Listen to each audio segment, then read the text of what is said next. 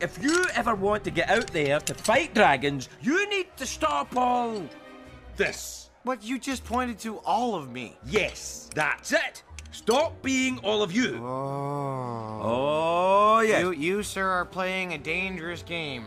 Keeping this much raw Vikingness contained. There will be consequences. I'll take my chances.